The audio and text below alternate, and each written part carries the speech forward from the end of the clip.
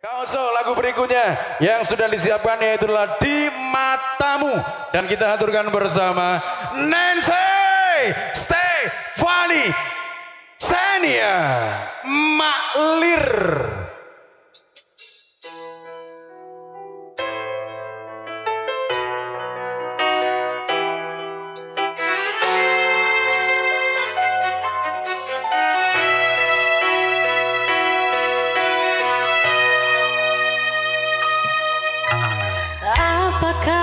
touch